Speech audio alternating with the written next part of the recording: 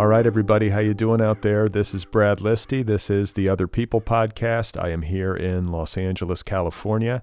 I hope you're doing okay wherever you happen to be. Don't forget to subscribe to the podcast wherever you listen. You can also subscribe on YouTube.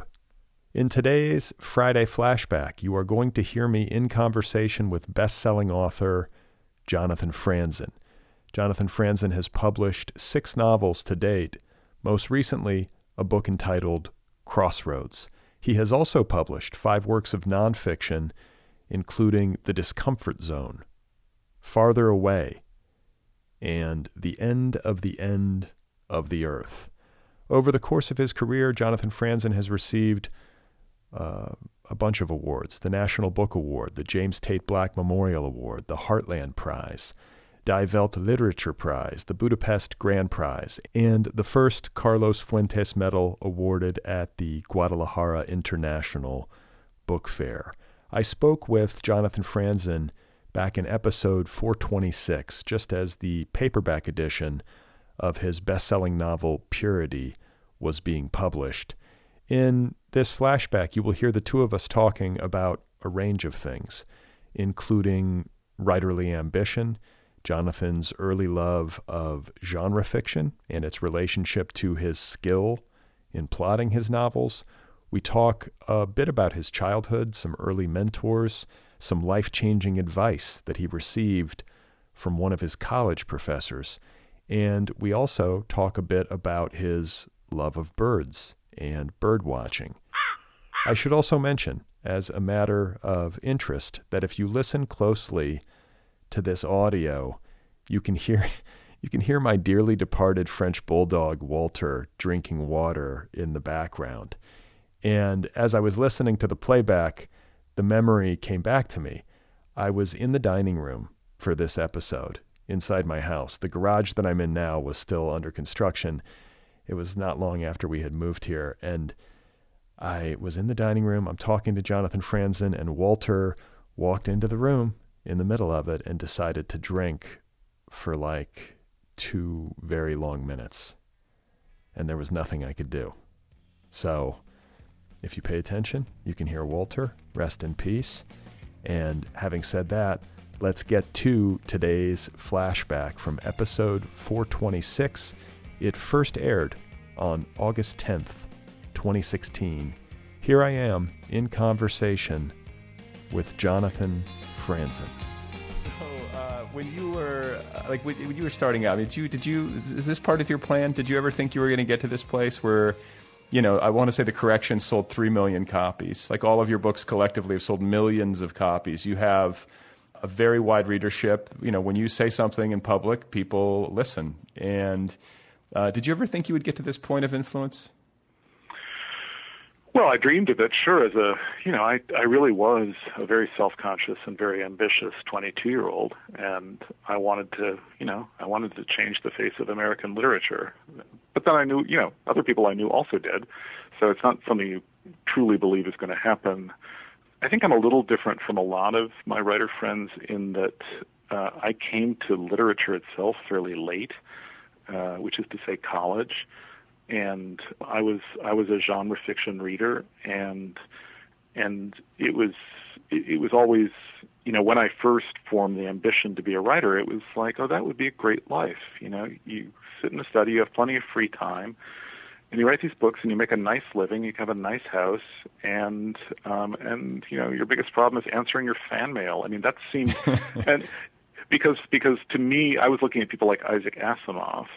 Arthur C. Clarke, uh, I was a huge Tolkien fan as well. I don't know whether he got a lot of fan mail uh, or lived long enough to, to, truly reap the financial rewards of having written those books, but th- that that to me was what a writer was, and it was it was it was a glamorous field. It was exciting. It would be like you'd you'd have a lot of readers and you'd make a good living. And then you know, I, I uh, literature was something that became filtered into that kind of reading. I was a, I was a tremendous reader as a kid, but I was reading science and I was reading sci-fi and I was reading fantasy, and I, and and reading mysteries, particularly you know just the old-fashioned Agatha Christie kind of mystery, and and so my notion of a writer was formed at at an, at an age and then I somehow, in my foolishness at 22, thought, okay, but I can read the kind of books I've been reading in college and still have that sort of audience, and that was what was what seemed very unrealistic at the time, and and continued to seem.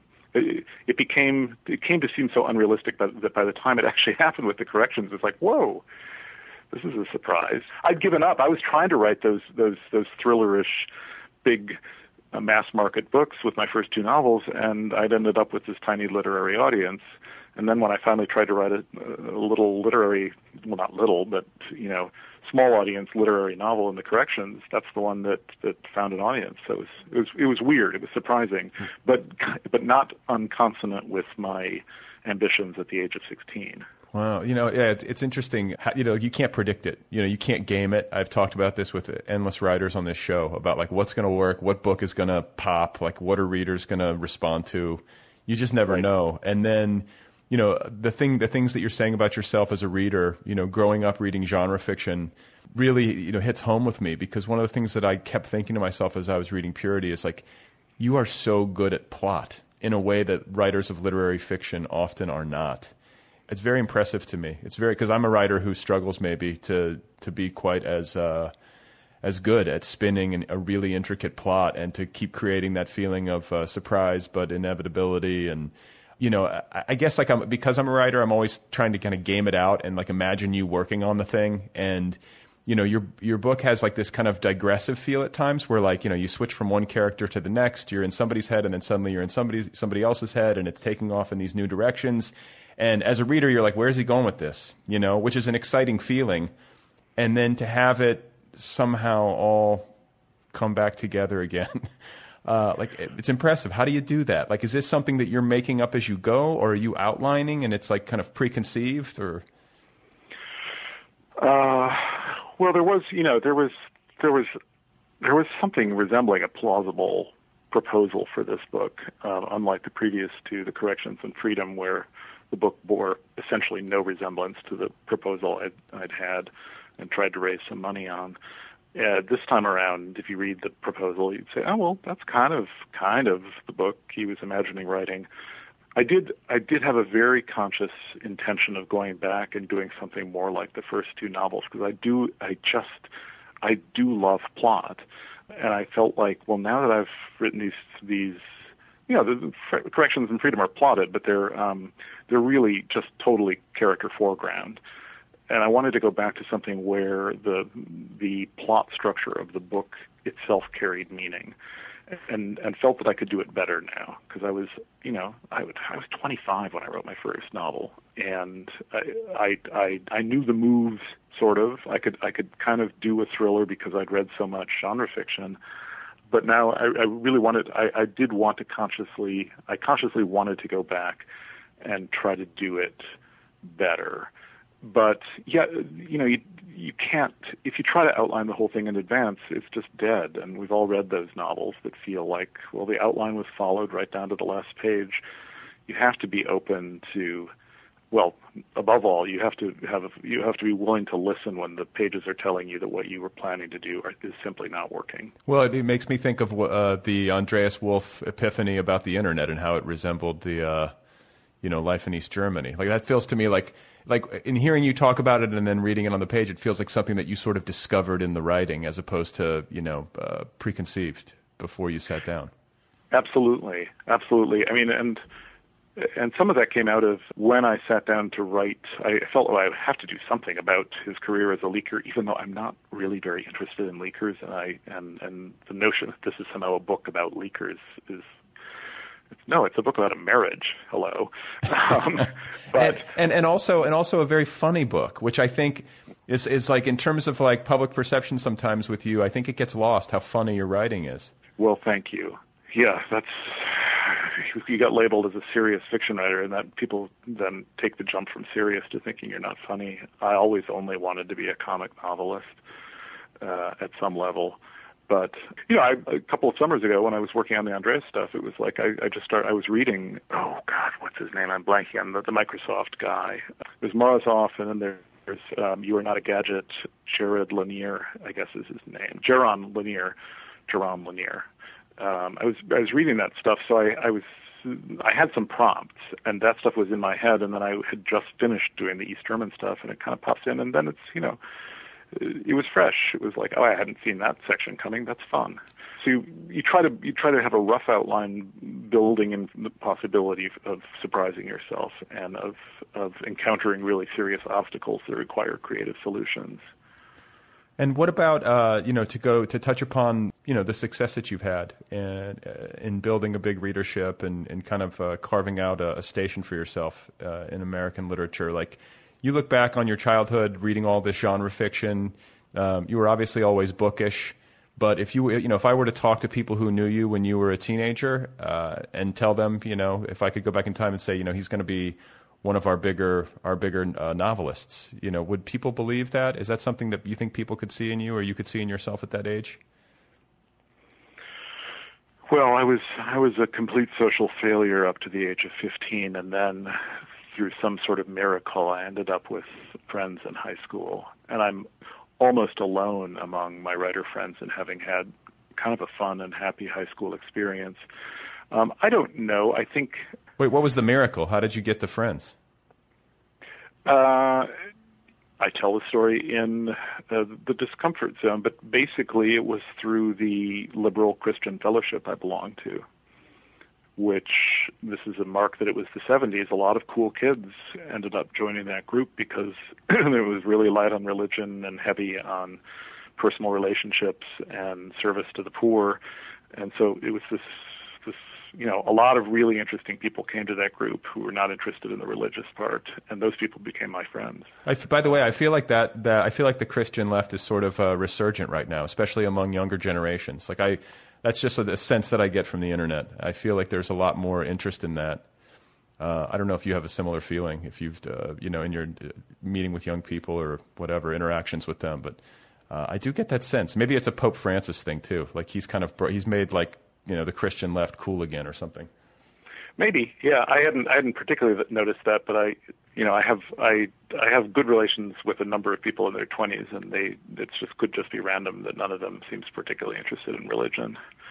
But uh, anyway, uh, we there was we were on some other point. Well, it's just about you. Uh, being... Oh yeah, no, I did. I did. The drama teacher at my high school said a nice thing when uh, my first novel was published, I went back to the high school to meet with some students, and the drama teacher was there, and he was he had been he was a super cool drama teacher, and all the cool kids were doing drama, and um, some friends and I had written a play and put it up, and he said to me, you know, reading that play, seeing that play, I knew there was a writer somewhere in that group of you. I didn't know which of you it was. Now I see it was you.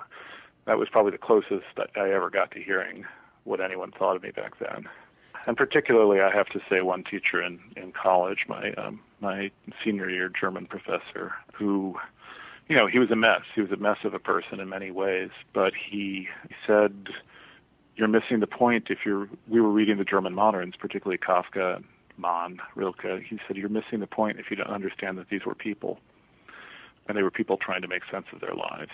And that that was the life changing remark a teacher made, just to say this is not a game, this is not, and it's not you know art for art's sake.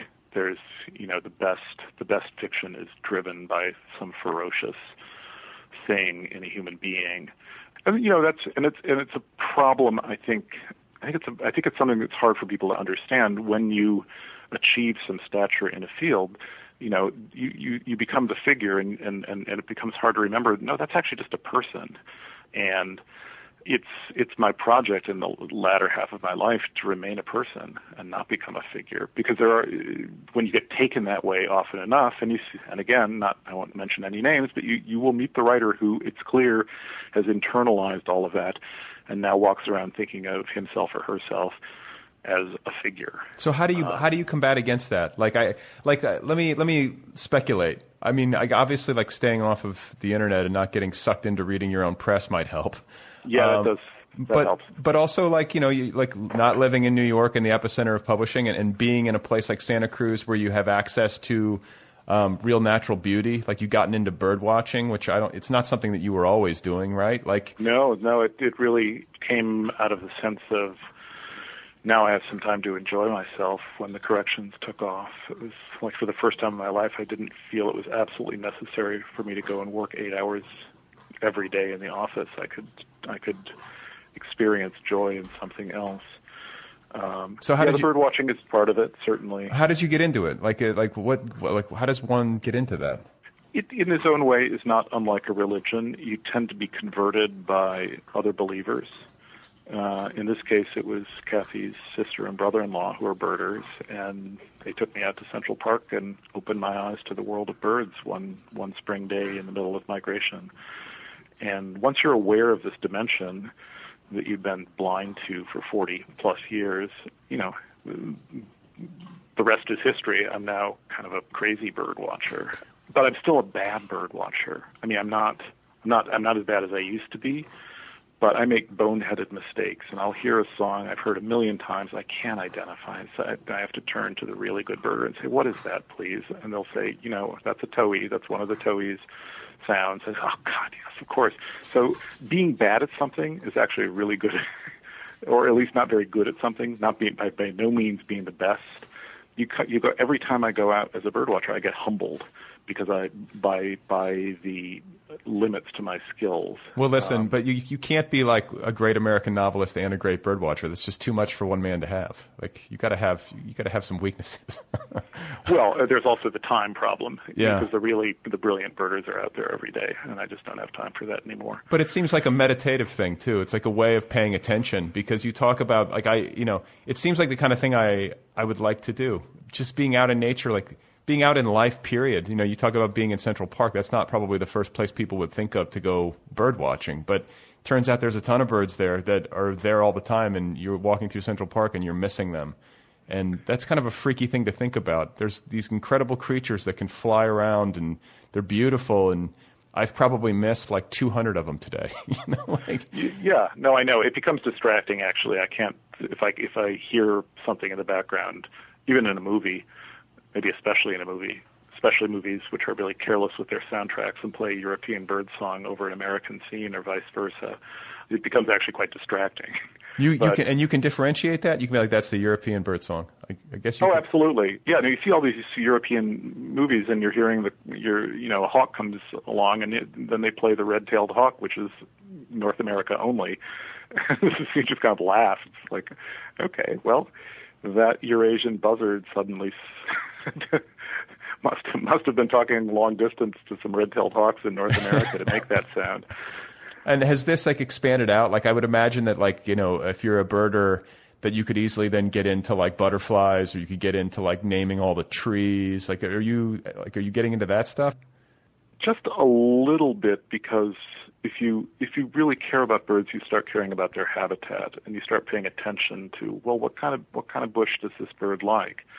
Um, and what kind of tree does this bird like? Uh, and that's particularly critical if you are in the tropics, where you have this tremendous diversity, and and species have evolved very narrowly to be dependent on, in some cases, just one kind of tree. So, but no, I, I, the, the way it's gone more has I've gotten into bird conservation. I've gotten into efforts to to improve the world for birds because I love them and and they're in trouble. They're in bad trouble. The um, you know we're going to lose we're going to lose so many species this century if we don't step in now and do something. And you know I never thought of myself as particularly public spirited. I come from a kind of libertarian Swedish American background, and that I find myself. I'm on the board of the American Bird Conservancy, and I'm just you know really involved in often quite tedious meetings but very fine points of a particular habitat or a particular program. And I never would have seen myself as the per, as the kind of joiner who would be, you know, sitting around trying to do good with a group of people. And the only explanation is that I just love birds so much. And, and when you really start looking at it, you realize, well, you, you have to organize and you have to participate in order to help them. All right, there we go. Another Other People flashback episode. My conversation with Jonathan Franzen from August 2016, episode 426. You can listen to the full conversation. It's in the podcast feed. It is accessible. There is no paywall. So track it down, have at it. The Other People Show is offered freely. The entire archive is made available free of charge, no paywall, so please support the work that I do over at patreon.com slash otherpplpod. You can do so for as little as $1 a month. It's a sliding scale. You can get merch. Go to Patreon, P-A-T-R-E-O-N dot com slash otherpplpod. Don't forget to subscribe to The Other People Show wherever you listen. Please take a couple of minutes and rate this podcast wherever you listen. If it's possible to write a quick review, write a quick review. It helps new listeners find the show. If you would like to get yourself an Other People t shirt, you can do so at otherppl.com. Just scroll down, look for the t shirt. You can't miss it. If you would like to receive my free once a week email newsletter, you can sign up at bradlisti.com or otherppl.com and get an email from me once a week. Coming up next on the Other People Show, I'm going to be doing another Craftwork episode, a conversation with Declan Meade, the founding editor and publisher of the acclaimed Irish literary magazine, The Stinging Fly. You might have read about Declan and The Stinging Fly not too long ago in the New York Times. I will be talking with him about how to start and run and sustain a literary magazine, so stay tuned.